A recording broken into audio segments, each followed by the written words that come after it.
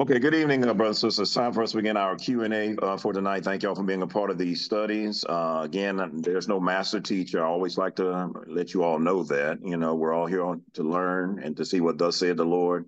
And uh, whatever questions are asked, we want God's answer, uh, rightly divided from his word. And so thank y'all for being a part of these studies. If you're visiting for the first time on here, thank you uh, for being here. And again, if you have any questions you'd like to ask, uh, if you have any spiritual concerns, just let us know and just hold us accountable to give you book, chapter, and verse, whatever questions uh, that you have concerning what you'll hear on tonight. Uh, these are being recorded, as you all know. Mute your mics if they're not muted so that we don't get any feedback. And I think all of you know, unless you're visiting, that you can use these recordings by uh, seeing Brother Coffee. And uh, thank you, Brother Coffee, for the phenomenal job you and Brother Javier are doing in getting these messages out, my brother. All right. Before we get started, let's open up in a word of prayer. Brother Coffee, I want to impose on you, brother, just open it up for us uh, tonight, if you don't mind. Let us pray. Most gracious Father in heaven, we thank you, Lord, for this day. We thank you for this day that you have made, that we shall rejoice and be glad in it. We thank you, Father, for your Son, Jesus Christ. We thank you, Lord, that you've allowed him to come into this world and to be the example that we need to um, to witness in the scriptures, Father. We just pray, Father, that we continue to be faithful unto death we thank you, Father, for the brethren that are here tonight that are to hear another portion of your word. We pray, Father, that you, you have equipped your manservant to teach us tonight, tonight, Father, according uh, according to the scriptures, Father, rightly divided. We thank you, Father, for a safe trip to he and his wife has returned home safe. We just pray that they enjoy themselves. And now that they're back home safely, Father, we just give you thanks and praise. We continue to pray for those, Father, that are sick among us, that you will be with them and heal their bodies according to your will. We ask, Father, to forgive us, Lord, of our sins and cleanse us, Father, from all unrighteousness. And we thank you in Jesus' name. Amen. Amen. Amen. Let's turn to 1 Corinthians chapter 9. I want to turn there. 1 Corinthians chapter 9 is where the first question is going to come from on tonight. And the question I want to deal with tonight is what does Paul mean when he says he became all things to all men uh, that he might win some? So turn to 1 Corinthians chapter 9. Let's look at that because there's a lot of misconceptions about what Paul uh, means when he writes what he writes here in 1 Corinthians chapter 9. And while you turn there, I just want to remind you that in chapter 9, Paul is writing to the saints in Corinth, really talking about his rights as a Christian. Christian. You know, as Christians, we have liberties, we have rights. Even as an apostle, he has liberties and he has rights. Uh, but he doesn't always take advantage of those rights if it would hinder uh, the, the propagation of the gospel message. And so in his writing to these saints, I'm going to start with verse number 19, 1 Corinthians 9 19. Paul says, For though I be free from all men, yet have I made myself servant unto all, that I might gain the more. And unto the Jews I became as a Jew, that I might gain the Jews. To them that are under the law, as under the law, that I might gain them that are under the law. To them that are without law, as without law, being not without law to God, but under the law of Christ, that I might gain them that are without the law to the weak became I as weak, that I might gain the weak. I made all things to all men, that I might by all means save some. And this I do for the gospel's sake, that I might be partaker thereof, he says, with you. And so what does Paul mean when he says what he says in verse number verse number 22 so the weak i became weak and, and that i might gain the weak and i made all things uh, to all men that I might by all means, he says, save some. And so, what I want us to understand is Paul is teaching that what was common for him to do was to become what he needed to become uh, to the people that he's talking to that he might be able to reach them to get them to understand what they needed to do in order to be saved. And so, Paul, when he spoke to Jews, I want you to get this, when he was preaching or teaching the gospel message to Jews, he knew the people, the audience that he was talking to. And so when he was talking to a Jew, Paul would understand that the Jews understood the law, and they understood the prophecies that are written in the Bible. So when you go back to Romans chapter 3, I just want to illustrate this, what Paul is saying in Romans chapter 3. So if Paul came in contact with Jews, and he did, he, he preached to the Jews as well as to the Gentiles. But when he's talking to a Jew, Paul understood that the Jews had an advantage in that they had the law, the written law of God, and they also had the prophets. So in Romans 3, 1 and 2, Paul says, What advantage then have the Jew? And so we have to understand the Jews had an advantage because, again, they were God's chosen people and they had God's written law. He says, "Or what profit is there of circumcision?" He said, "Much every way, chiefly because that unto them were committed the oracles of God." So you see what Paul is saying here in Romans 3, 1 and 2? Paul is saying in, in Romans 3, 1 and 2, that the Jews had an advantage uh, because they had the prophecies and they had the written law of God, and so they were already they were already disposed to what it meant to to be pleasing to God based upon the written scriptures. That's what the Jews should have known. They should have known the law. They knew the prophets, uh, the prophecies, and they knew the Bible, the Old Covenant. And so when uh, uh, Paul or Jewish people would come in contact with with Jews, they would start by trying to share the gospel message with them by beginning with the oracles of God, with the written word of God. Give an example that go to Acts chapter 8. Go to Acts chapter Here's what Philip did in Acts chapter 8. And brother, this is something you and I need to learn. Really, he's using wisdom. You got to know the audience uh, that you're you're sharing the gospel message with, and you got to take the audience from from where they are. So go to Acts chapter eight with me. Acts chapter eight with me. Acts chapter 8. Uh, I'm going to get you to mute your mic. Somebody needs to mute their mic. I'm on my phone, so I can't see everybody right now. But make sure your mic is uh, muted because we're getting a lot of feedback from somebody on here. Uh, so go to Acts chapter 8 with me. And I want you to look with me in verse number 30. And remember, this is Philip who is going to go to an Ethiopian eunuch, an individual who is just coming back from worship service, and he has a Bible. And so in Acts chapter 8 and verse 30, and Philip ran there to him and heard him read the prophet Isaiah and said, Understand thou what you readest? He said, How can I, except some man should guide me? And he desired Philip that he would come up and sit with him. The place of the scripture which he read was this He was led of the sheep to the slaughter, and like a lamb dumb before his shearers, so opened he not his mouth. In his humiliation, his judgment was taken away. And who shall declare his generation? For his life is taken from the earth. And the eunuch answered Philip and said, I pray you, of whom speaketh the prophet this, of himself or some other man? And look what Philip does. Then Philip opened his mouth and began at the same scripture and preached unto him Jesus. And as they went on their way, they came into a certain water, and the eunuch said, See, here is water. What doth hinder me to be baptized? Now, I wanted to read those scriptures just to show you that Philip knew the audience he was talking to. He became what this man needed him to become so that he might win him. And so he started with his understanding of where this eunuch was as it relates to his relationship with God. This eunuch has the scriptures. And so what Philip did is he used the scriptures to present the message that he needed to hear in order to be saved. Now, mind you, when you read the book of Isaiah, there is nothing in the book of Isaiah that says anything about water baptism. I want you to remember that. Nothing in Isaiah. And this guy is reading from the same Isaiah we have in our Bibles, Isaiah chapter 53.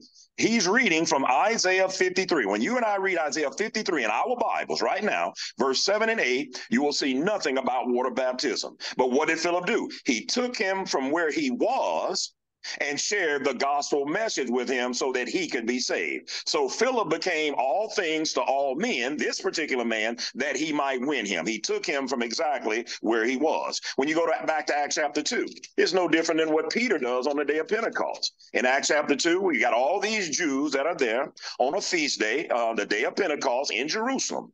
And what Peter is going to do, he's going to take these Jews and these proselytes and all these people that are there who have a knowledge of of God because they're in Jerusalem. They have some knowledge about who God is. Otherwise, they wouldn't be in Jerusalem on the day of Pentecost. And so, what Peter is going to do, he's going to take these people who are there from where they are for the purpose of trying to save them. Look in Acts chapter 2 and just read some of his sermon, beginning at verse number 17 with me. In Acts 2 17, it, the Bible said, It shall come to pass, and this is Peter's sermon here.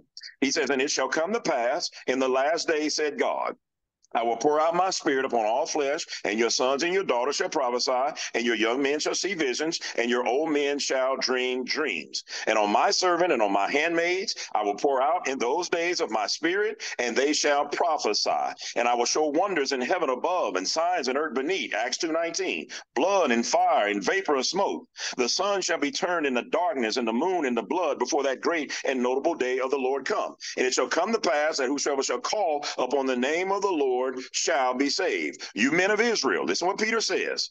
Verse 22 These words Jesus of Nazareth, a man, hear these words Jesus of Nazareth, a man approved of God among you by miracles, wonders, and signs, which God did by him in the midst of you, you yourselves also know. Him being delivered by the determinate counsel and foreknowledge of God, you have taken, and by wicked hands you have crucified and slain, whom God had raised up, having loosed the pains of death, because it was not possible that he should be holden of it. For David speaking concerning him, I foresaw the Lord always before my face, for he's on my right hand, that I should not be moved. Now, notice what Peter is doing. He's using the scripture scriptures. I want you to be mindful when he talks about the son being turned to blood and, and pouring out the spirit in Acts 2.18 uh, on the handmaids, he, he understands the audience that he's talking to. He's taking them back to the Old Testament scriptures.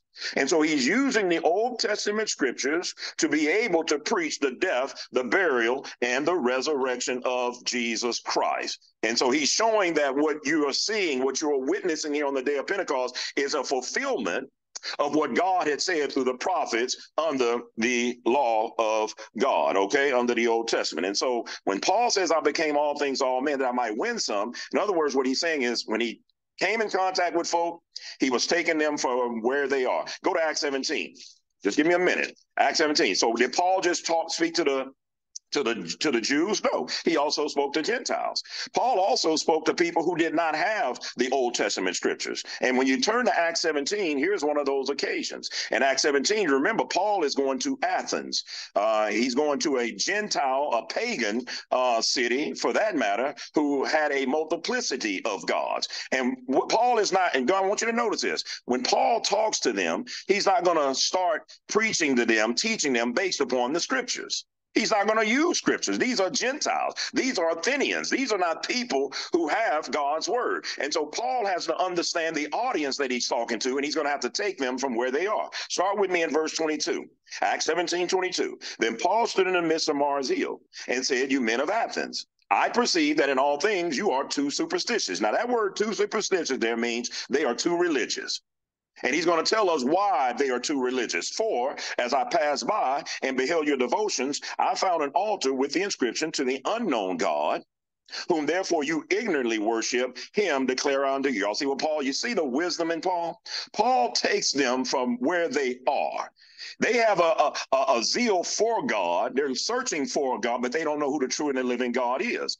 So he's going to take their belief in a God and then he's going to describe to them about the unknown God, and he's going to preach to them the truth. Notice this, verse 24 God that made the world and all things therein, seeing that he is Lord of heaven and earth, dwelleth not in temples made with hands. Let me stop right there. When he uses that word God in verse 24, he is talking about the Father. Please understand that.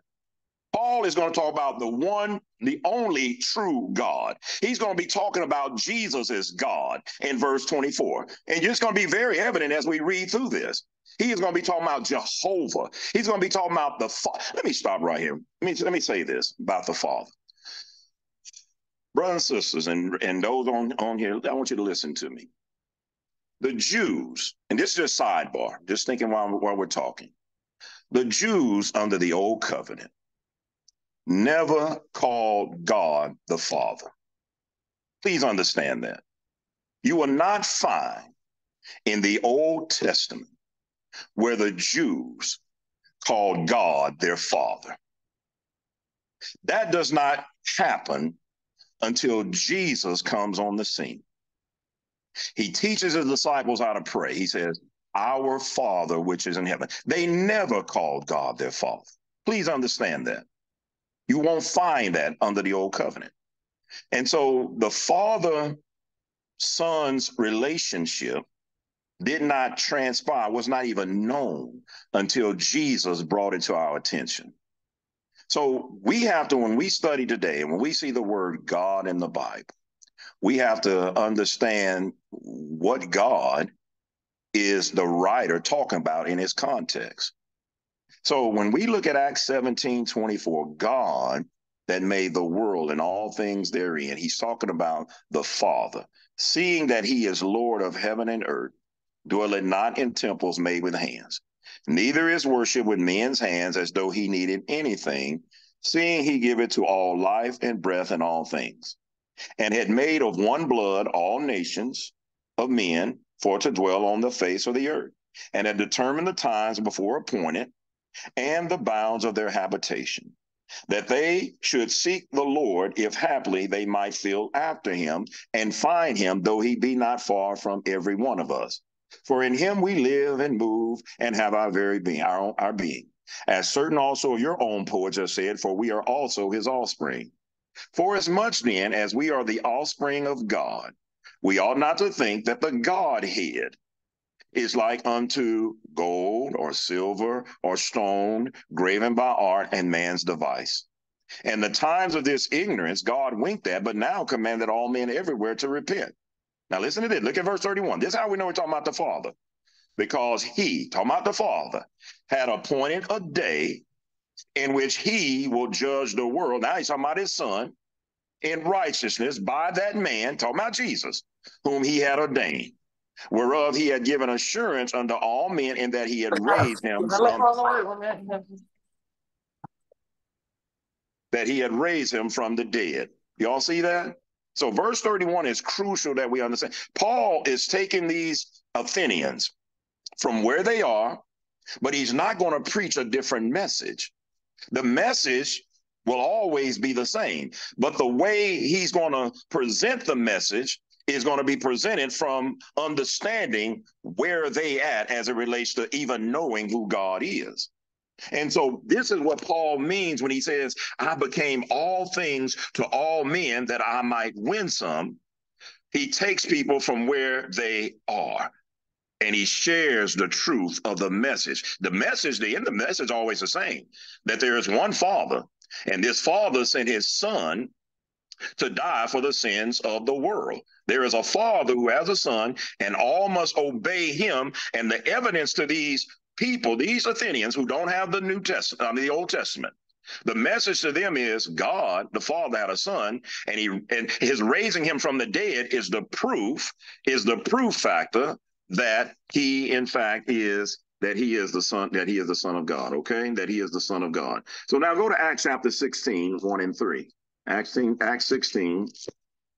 Now, th- this isn't just for, this wasn't just becoming all things, all men that we might win some just to the non Christian. Paul had this attitude as well when he was talking to his own brethren. You know, there are times we, to our own brethren, we have to become all things to all men that we might win some. Remember in Acts 16 when when Paul was dealing with with Timothy uh, in Acts chapter 16, verse number one. Then came he to Derbe and Lystra, and behold, a certain disciple was there named Timothy, the son of a certain woman, which was a Jewess and believed, but his father was a Greek, which was well reported of by the brethren that were at Lystra and Iconium. Him would Paul have to go forth with him and took and circumcised him because of the Jews which were in those quarters, for they knew all for they knew all that he, his father rather, was a Greek. And so what we have here is we have a, an instance where, well, Paul, because he understands that these Jews will not listen to a Gentile, what he would do in this case, he would he would make Timothy to become all things to all men that he might win some. But again, Paul would only do this because he knew the audience that he was coming to and the people that he would be dealing with. But remember in Galatians chapter 2, and then we'll close with this Galatians chapter 2, because he knew the audience that he was dealing with, he would not have Titus circumcised. So go to Galatians chapter 2. He wouldn't have Titus circumcised because he knew this audience and what they were teaching and what their belief system was. So when you go to Galatians chapter 2, Paul's going to make sure I'm going to become all things, all men, that I might win some. But this doesn't mean he's going to become all things, all men to win some, that he's going to become a sinner. I want to make this is the point I really want to make. Don't mean that you and I become all things, all men, that we might win some, that you become a prostitute or a, or a sinner or a thief or a robber. You don't become, you can't become anything that is sinful that you might win somebody. And so in Galatians chapter 2 and verse number 1, listen to this. Then 14 years after I went up again to Jerusalem with Barnabas and took Titus with me also, and I went up by revelation and communicated unto them that gospel which I preached among the Gentiles, but privately to them which were of reputation, lest by any means I should run or had run in vain. But neither Titus who was with me, being a Greek, was compelled to be circumcised. And he's going to explain why in verse 4. And that because of false brethren unawares brought in, who came in privily to spy out our liberty, which we have in Christ Jesus, that they might bring us into bondage. And so Paul understand there's there was an audience he was going to be talking to who were demanding that you be circumcised or that you hold on to certain parts of the law that have been done away with so that you can be righteous in the sight of God. So Paul said, in this case, I'm not going to, and Titus refused to be circumcised, okay, uh, because he knows who he's talking to. So somebody say, well, why would he circumcise? Why would he circumcise Timothy? Well, because those of us who are Christians, we understand at the end of the day, circumcision, whether you're circumcised or uncircumcised, doesn't mean anything anyway at the end of the day. So Paul in 1 Corinthians 7 proves that. Let's go to 1 Corinthians 7. 1 Corinthians 7. It's not that, you know, if a, if a parent chooses to circumcise their child, even today, you know, that's, you know, for it could be for medicinal purposes. You want to circumcise your male boy, you can do that. But you got to understand, there is no law that you and I are under today that demands that your male boys be circumcised. Please understand, you can't be doing it for religious purposes or to be righteous in the sight of God. And so in 1 Corinthians 7, verse 18, Paul says this Is any man called being circumcised? Let him not become uncircumcised. Is any called in uncircumcision? Let him not be circumcised. Circumcision is nothing, and uncircumcision is nothing, but the keeping of the commandment of God. Let every man abide in the same calling wherewith he was called. Are you called being a servant? Care not for it, but though thou mayest be free, use it rather. He says that. So I just wanted to point out that it doesn't matter uh, whether a person is circumcised or uncircumcised as relates to a person being righteous uh, in the sight in the sight of God. Okay, and so becoming all things to all men, we understand it's not Paul's not saying he became a sinner so that he can win sinners. You and I can't become sinners to win sinners. We just got to know the audience that we're talking to, that we're dealing with, and be able to present the message that everyone needs Jesus in order to be saved and have a relationship with the Father. Okay. Anybody have any questions or comments? Any questions or comments? Any questions or comments on that particular question? With what yeah, Paul I do Yes, go ahead. Uh, go ahead, because I can't see the hands. I'm on this phone. I got. Uh, so go I do have a yes. comment. Sure. Um, and I'm I'm glad that you touched on it because um, you know, there are a lot of people today in this world that would use that scripture to try to justify why um, a Christian uh, should do certain things and put themselves in certain situations and places. And uh, I've always used that. Um, you know, I came out of the Baptist world, so nine times out of ten, when I'm talking to people about the faith, um is and and we're talking about you know the one true church or we're trying i'm trying to talk to them about you know believing in baptism i always put myself in a position to come from where they're at because I need them to understand that I too relate with where they are right now. But here is how I came to the understanding of what I know now. And um and I'm I just I'm glad that you um that you opened up with that uh with with, with that because it, it helped.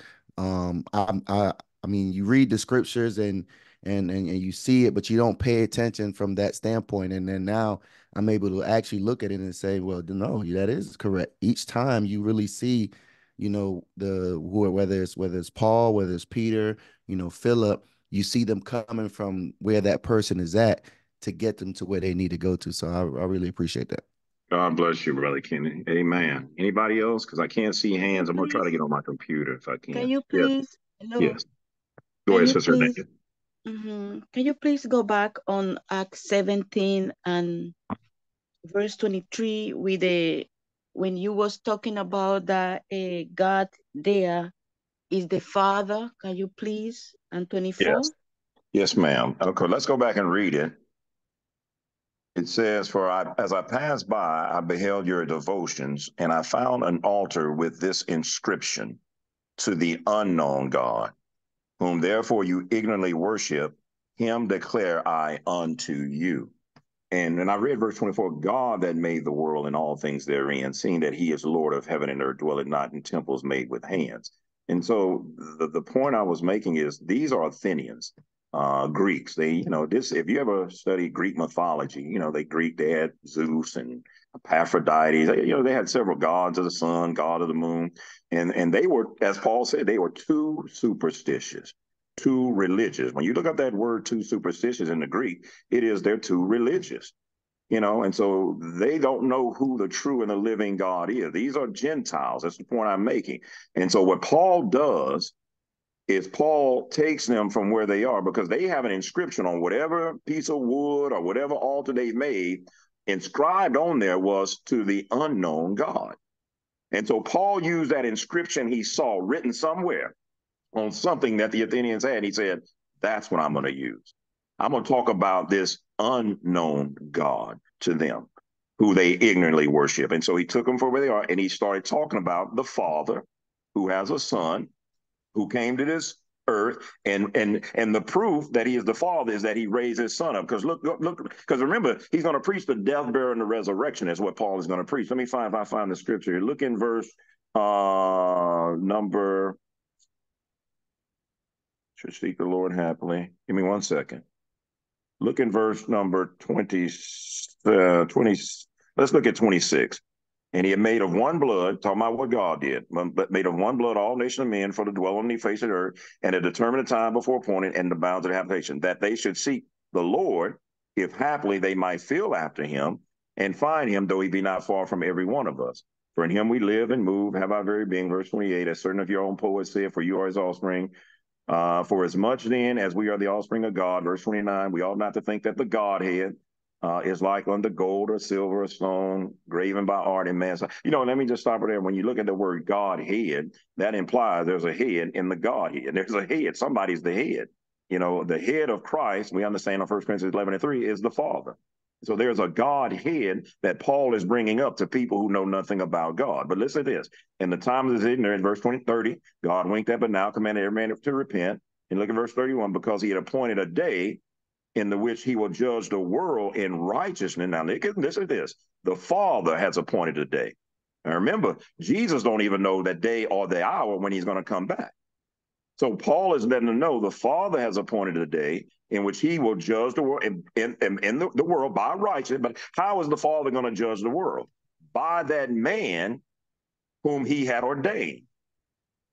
See, remember, it's going to be Jesus that's going to be judging us on the day of judgment. 2 Corinthians 5:10. For we must all appear before the judgment seat of Christ.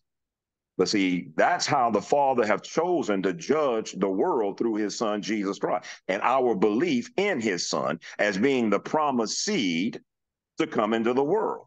So he says, whereof he had given assurance unto all men. So how did the Father assure us that Jesus is his son? In that he had raised him from the dead. Y'all see that? The Father raised Jesus from the dead. And so there's going to be a time when the Father is going to send him back, and through him, through Jesus, will the Father be judging the world. Okay, that makes sense. Everybody get that? Did that answer your question, Sister Hernandez?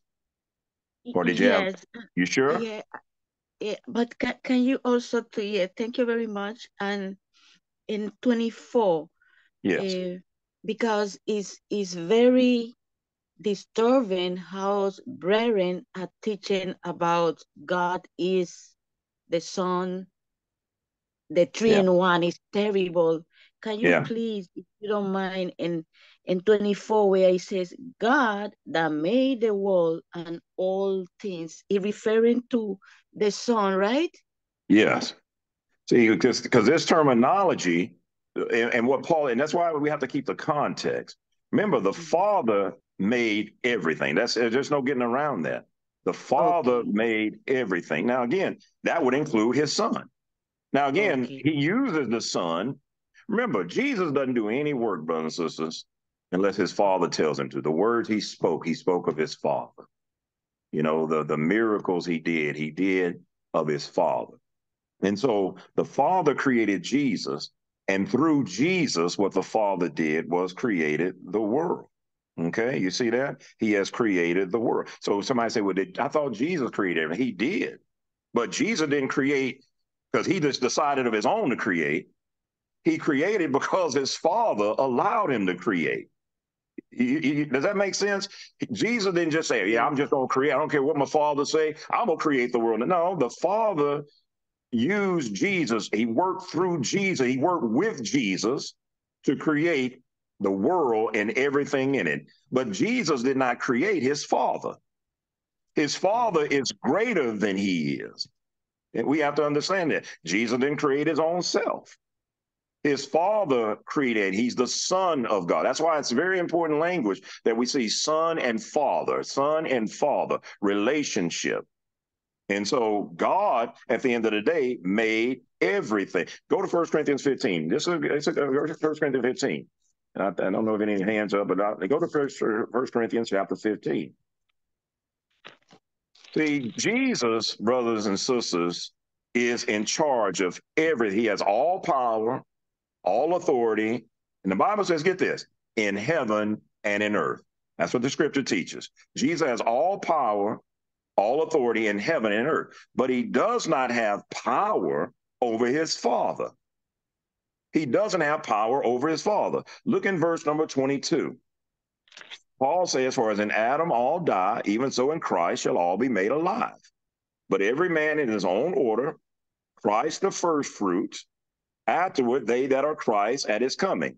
Then cometh the end. Now, Paul is dealing with what's going to happen whenever the Father sends the Son back. Remember, Jesus don't know the day or the hour when he's going to come back. Not even the angels in heaven know, but he says, but my Father only. So whenever the Father sends him back, verse 24, then it's going to come the end when he, talking about Jesus, shall have delivered up the kingdom to God. Now, somebody say, well, isn't Jesus God? Yes, but he's the Son of God. He's not going to deliver the kingdom up to himself. And, and Paul's going to say that. He's going to deliver up the kingdom to God. God who? Even the Father. When he shall, when Jesus is going to put down all rule, all authority, and all power. Who gave it to him? His father did. He says, For he must reign, Jesus must reign, till he had put all enemies under his feet. The last enemy that shall be destroyed is death. Are people still dying today? Yes. So guess who's still ruling? Jesus is. As long as people are still dying, brothers and sisters, we live in a world people are dying. You, you and I know that the last enemy has not been destroyed. Jesus still has all power and authority. Now look what he says. For he, now, now look at verse 24. The last enemy that shall be destroyed is death. For he had put all things under his feet. Who are we talking about now? The Father. The Father had put all things under Jesus' feet. Now look at this. But when he said all things are put under him, it is manifest or it's understood that he, that the Father, is accepted, which did put all things under him. You see that?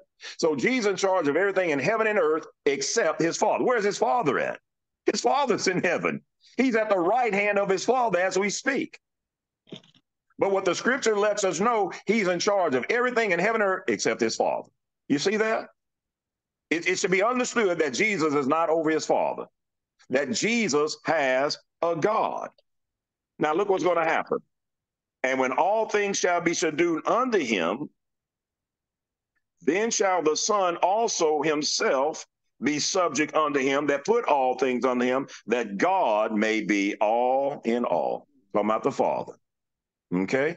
And so we got to understand there's only one true and living God, the Father. Jesus has a God even as we speak. And Jesus has never said he was greater than his father because he understand he was created by his father. Okay, did I answer your question, Sister Hernandez? Yes, thank you very much. Thank you, my sister. Brother, uh, Brother Coffee, I see at your hand. I'm okay. I got to get off of this. Uh, yes. Go ahead. Um, to um, further your point in Acts 17, um, also in Acts chapter 14 and